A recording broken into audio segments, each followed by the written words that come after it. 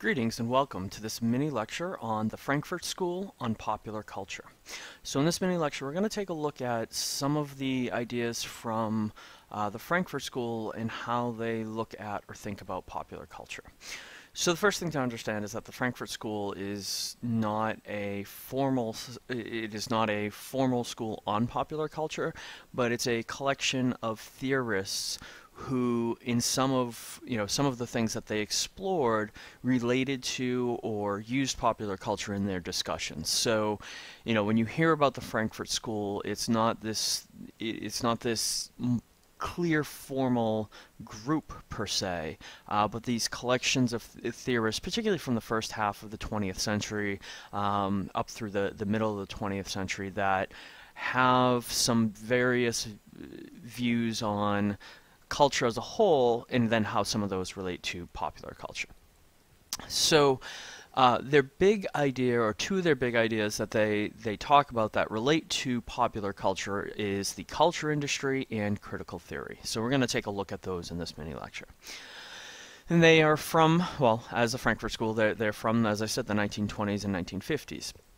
I think the best way to caps- encapsulate a lot of what they talk about, a lot of how they explore popular culture, is in this famous quote from Henry Ford. Any customer can have a car painted any color that he wants, so long as it is black.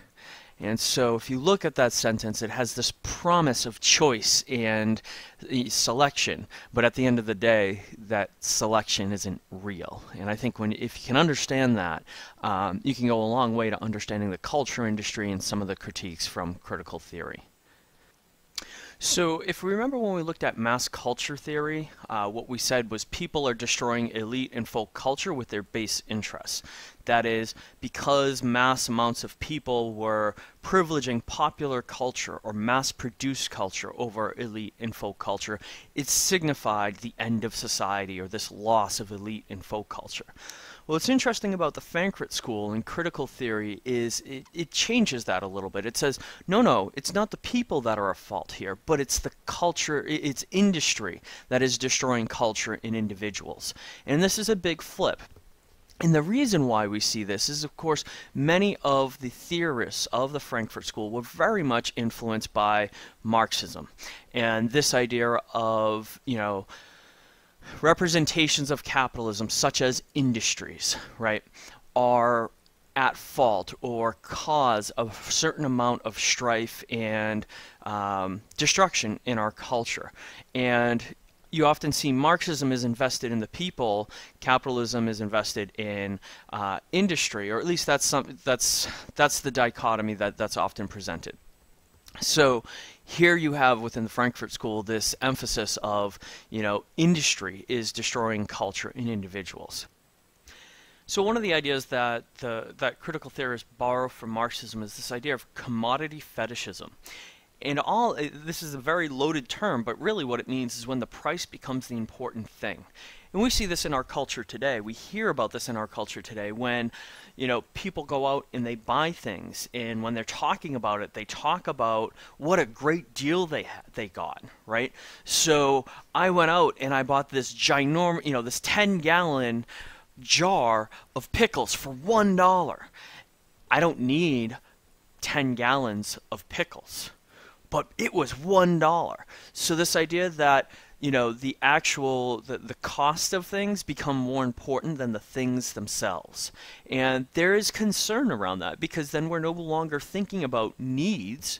We're thinking about man how great is the, the the worth of this thing? And we see this a lot you know particularly around uh, a, a, variety of items that are supposed to signify certain things. And we'll talk about signs and signifying and stuff.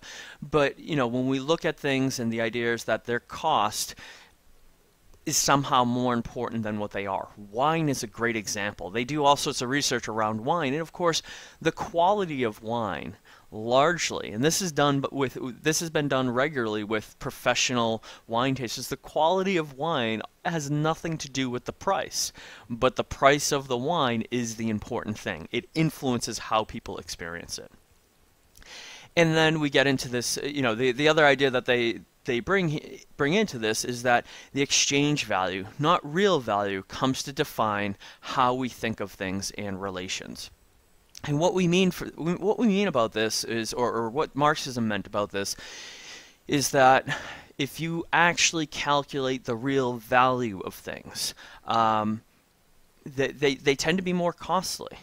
And you know, when you look at what is they worth of a person, of the different people involved in production, well, their worth they are not actually really valued. And we see this today in our culture where it's what you can sell it for, not what it's actually worth. Because if it was what it's actually worth, it would cost more.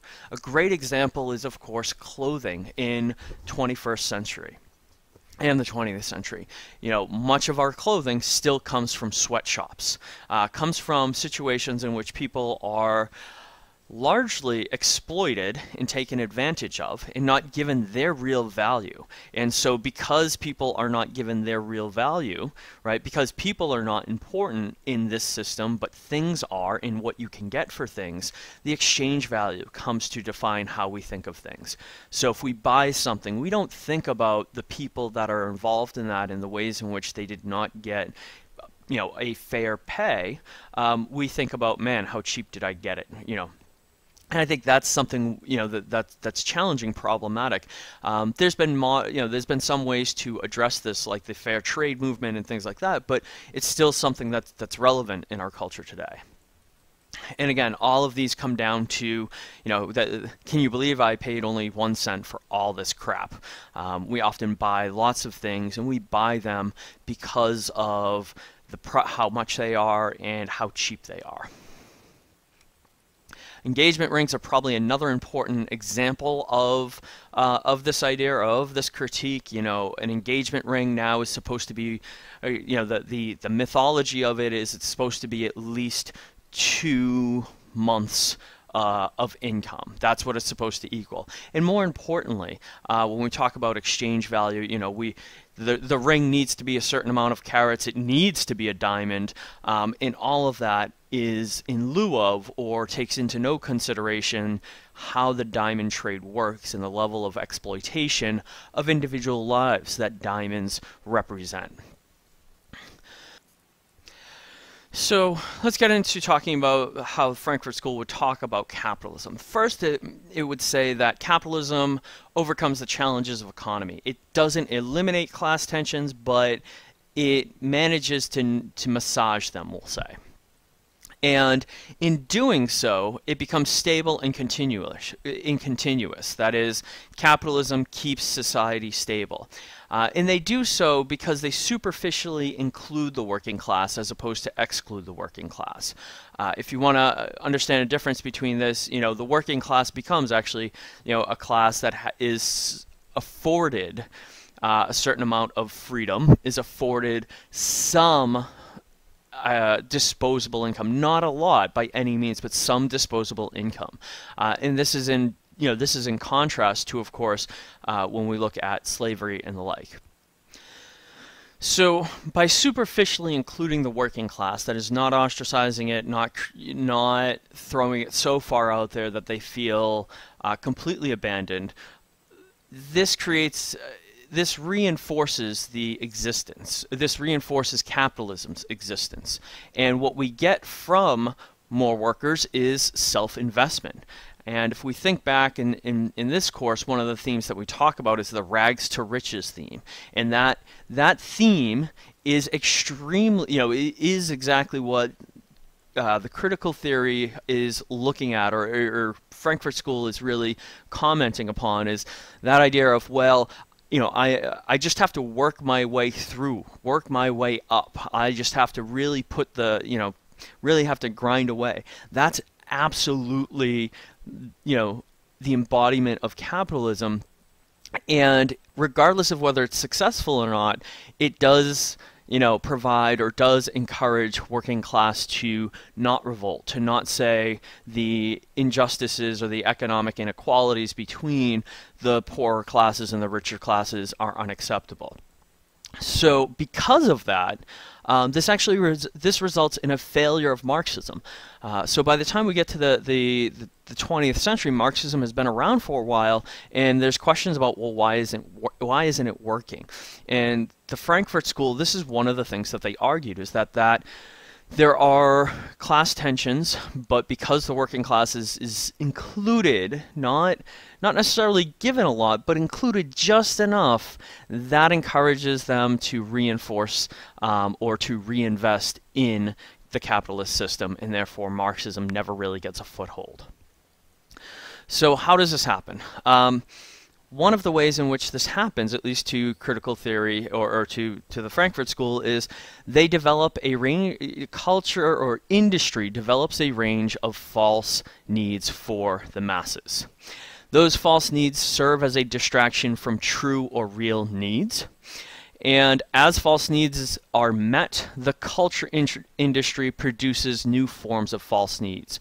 Think of, you know, in the last 20 years, we went from the pager to the cell phone to the smartphone right? So every time you're you're okay and you're you're fine, you find out there's this new thing you need. There's this new thing that's important to your life, and all of these further reinvest you in the system.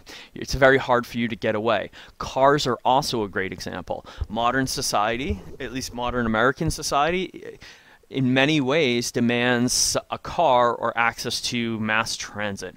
And so you are constantly needing to spend money in order to make money. So think about how that cycle works or, or keeps you caught in the system. And that people buy happiness or believe they can buy some things. Um, believe because they can buy some things, their needs are being met.